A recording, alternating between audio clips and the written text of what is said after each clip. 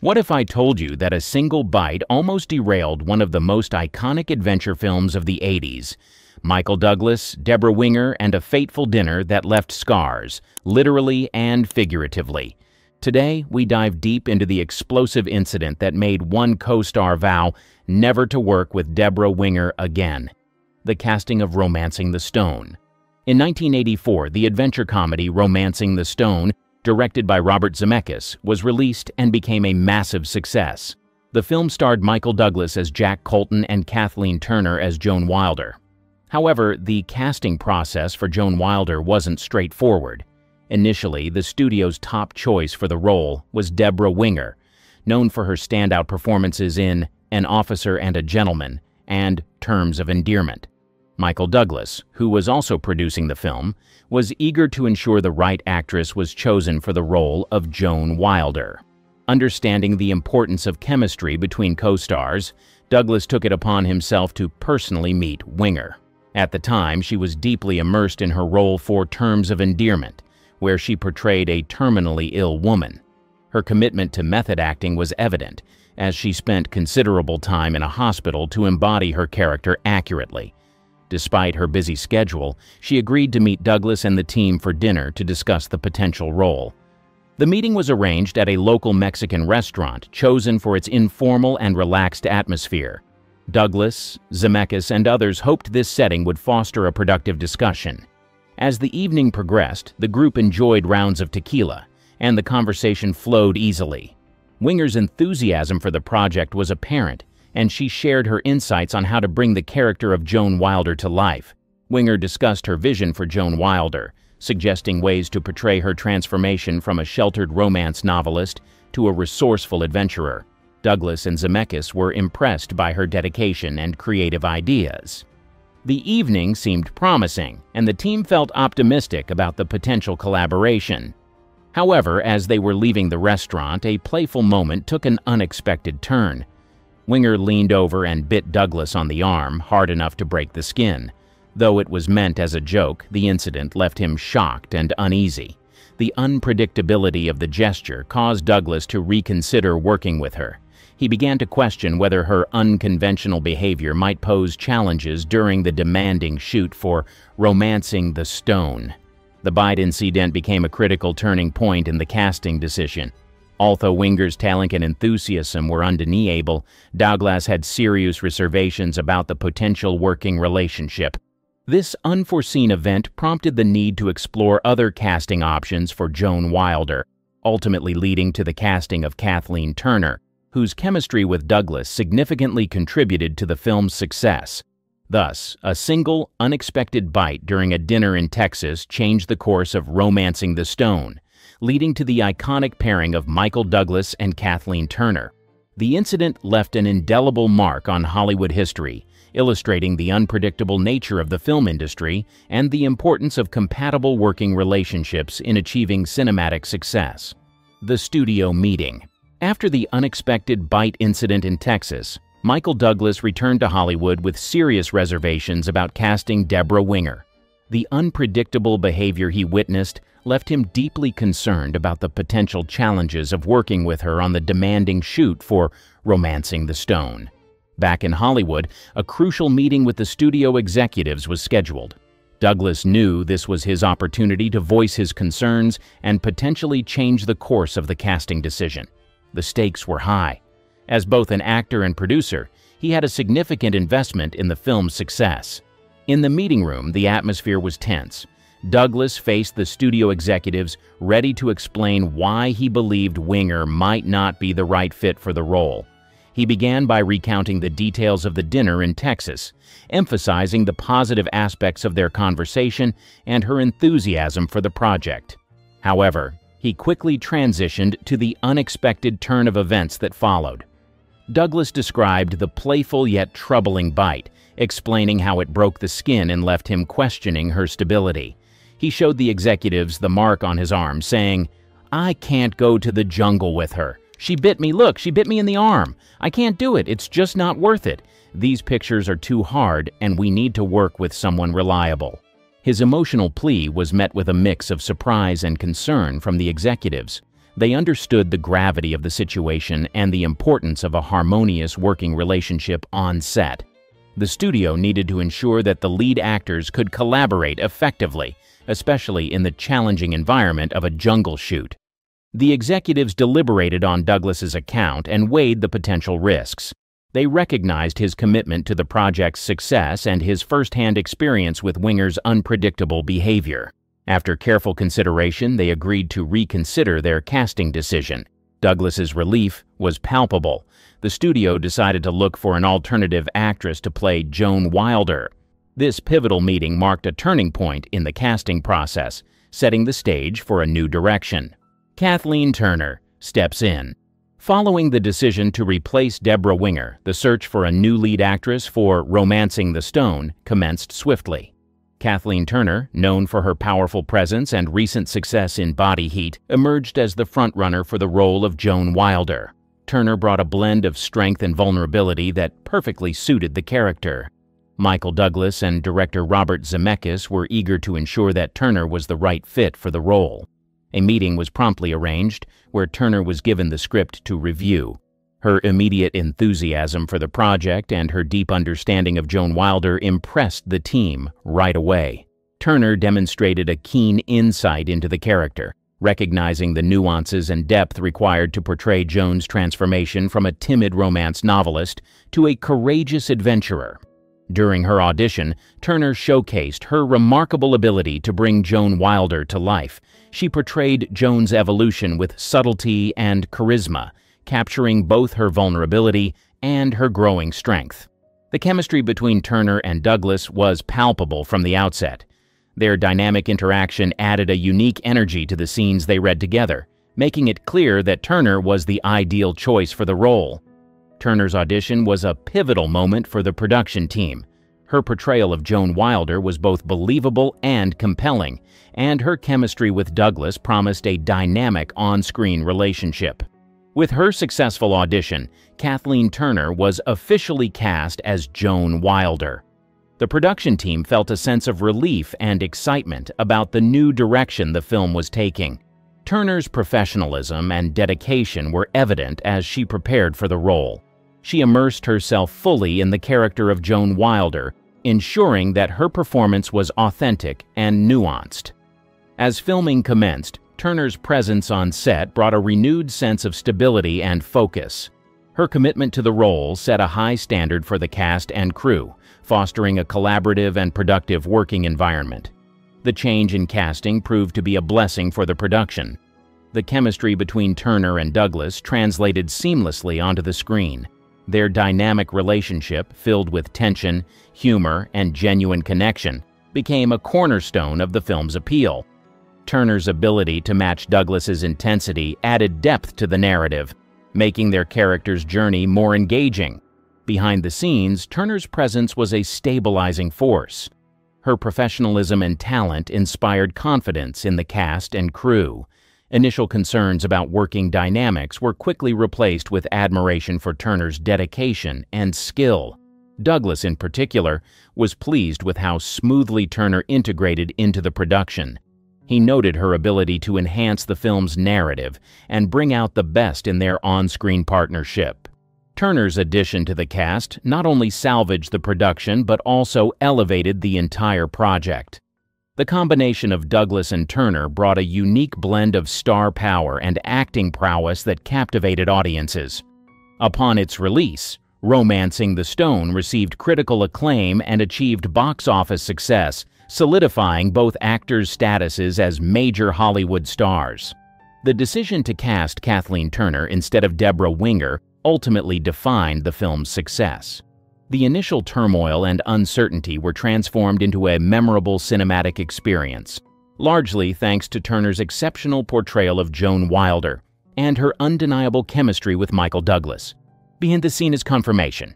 Years after the release of Romancing the Stone, the story of the infamous dinner in Texas resurfaced.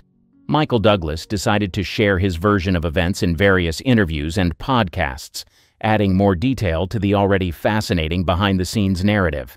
One of the most notable recountings came on the Literally with Rob Lowe podcast. Douglas, now an established Hollywood icon, opened up about the biting incident, describing it with a mix of humor and seriousness.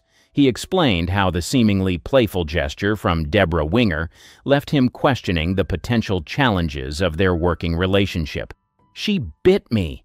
I couldn't believe it, he told Lowe, adding, It was meant as a joke, but it made me think twice about spending months in the jungle with her. Douglas's story gained traction, capturing the interest of fans and media alike.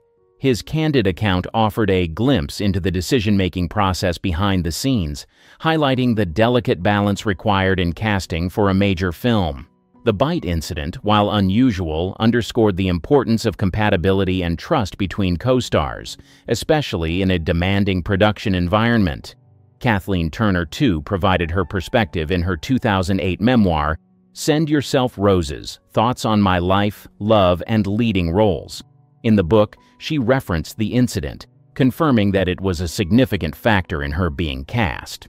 Turner wrote, Michael Douglas had a lot at stake in the film's success. He originally intended to have Deborah Winger in the role of Joan, but they didn't seem to get along as well as he'd hoped.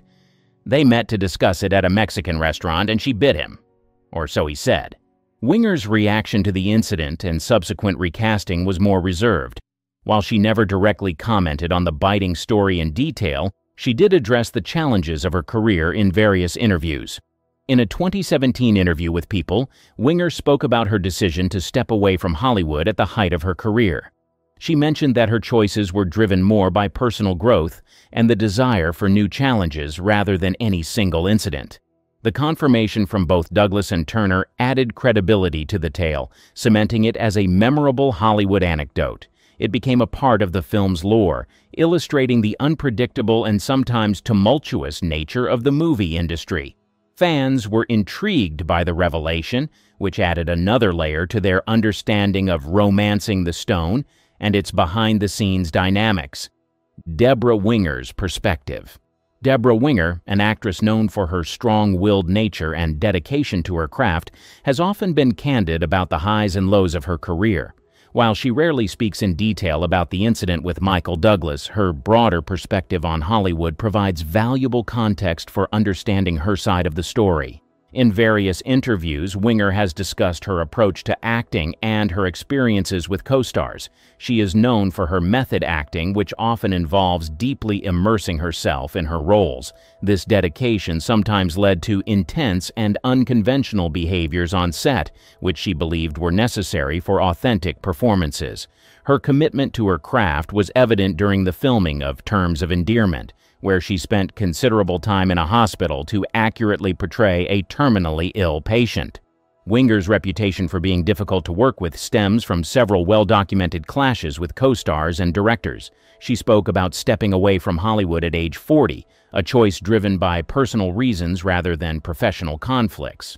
The parts that were coming I wasn't interested in. I'd already done that or I'd already felt that. I needed to be challenged. My life challenged me more than the parts, so I dove into it fully, she explained. Her departure from mainstream Hollywood wasn't an abrupt exit, but a gradual shift towards roles and projects that resonated with her personal growth.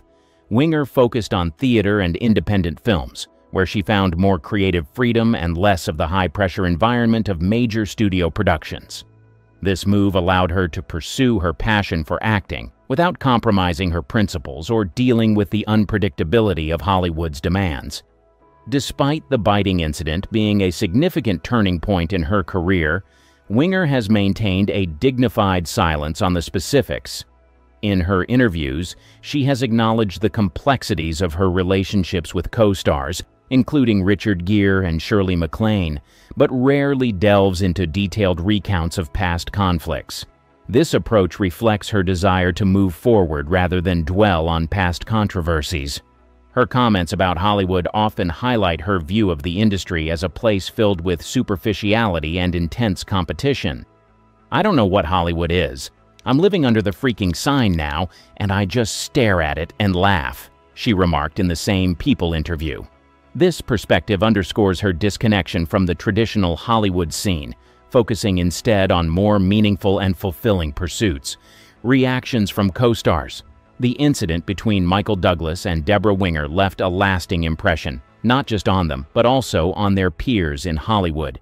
The bite incident, although peculiar, was not entirely out of character for Winger, known for her intense approach to acting and sometimes contentious relationships with co-stars. Reactions from other actors who worked with her provide further insight into her complex personality and working style. Richard Gere, who co-starred with Winger in An Officer and a Gentleman, had a famously tumultuous relationship with her during filming. Their on-screen chemistry was palpable, but off-screen, tensions were high. In various interviews, Gere has acknowledged the difficulties, describing their relationship as volatile. Despite the challenges, the film was a critical and commercial success, showcasing Winger's ability to deliver compelling performances even in strained environments. Shirley MacLaine, Winger's co-star in Terms of Endearment, also had her share of friction with the actress. MacLaine once described Winger as volatile and a brilliant talent, capturing the duality of her professional presence. Their dynamic was fraught with tension, but much like with Gere, it resulted in powerful performances that contributed to the film's success. MacLaine has spoken about the intensity of working with Winger, noting that their clashes were often a byproduct of their dedication to their craft. In her own words, Winger has admitted to being difficult at times. She acknowledged the clashes with her co-stars and directors, attributing them to her passion for authenticity in her performances. This passion sometimes manifested in ways that were challenging for those around her, but it also led to some of the most memorable and critically acclaimed roles of her career. Kathleen Turner, who ultimately took the role of Joan Wilder in Romancing the Stone, also reflected on the situation. In her memoir, Send Yourself Roses, Turner mentioned the biting incident and Douglas's reaction to it. Turner acknowledged that stepping into the role under such circumstances added pressure but also provided an opportunity to prove herself. Her professionalism and talent helped to smooth over any lingering concerns from the production team, and she quickly became a respected and beloved figure on set. The reactions from Winger's co-stars paint a picture of a fiercely committed actress whose dedication sometimes bordered on the extreme. These intense dynamics often led to unforgettable performances, even if they came at the cost of personal conflicts. Winger's approach to acting, while controversial, underscored her commitment to her roles and her unwillingness to compromise her artistic vision. Other actors in Hollywood have shared mixed reactions to Winger's reputation. Some admired her for her dedication and authenticity, while others found her methods difficult to work with. The bite in popular culture. The unusual incident where Deborah Winger bit Michael Douglas has become a legendary anecdote in Hollywood lore. Over the years, this story has been referenced and retold, solidifying its place in popular culture. The Bite incident exemplifies the unpredictable and sometimes bizarre nature of the film industry, capturing the imagination of both fans and industry insiders. Various television shows, podcasts, and articles have recounted the story, often with a mix of humor and incredulity. The story gained renewed attention after Douglas's recounting on the Literally with Rob Lowe podcast. His detailed and humorous description of the event reignited interest, leading to a flurry of discussions and media coverage. This incident became a symbol of the quirky and sometimes tumultuous relationships that can develop on movie sets. Comedians and late-night talk show hosts have also used the story as fodder for jokes and skits. The sheer absurdity of the situation makes it a perfect topic for humorous commentary. Shows like Saturday Night Live and The Tonight Show have referenced the incident, using it as a punchline to illustrate the eccentricities of Hollywood actors. These comedic takes keep the story alive in public consciousness, ensuring it remains a part of entertainment folklore.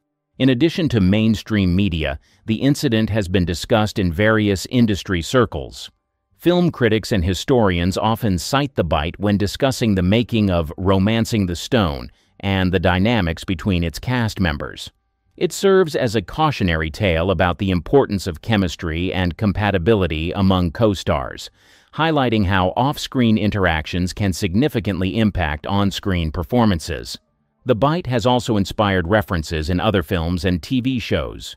Writers and directors fascinated by the story have woven similar incidents into their plots, drawing inspiration from the real-life drama. These nods to the Douglas Winger bite incident serve as Easter eggs for keen eyed viewers, adding layers of meta commentary to their works. The anecdote has even made its way into academic discussions about film production and actor dynamics. Film studies courses sometimes include the story in their curriculum to illustrate the challenges of casting and the unpredictable nature of working with method actors.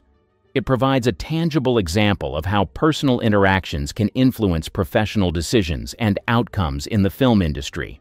Beyond its entertainment value, the story has a certain enduring appeal because it humanizes the actors involved. It shows that even Hollywood stars, often seen as larger than life figures, can have surprisingly relatable and absurd experiences.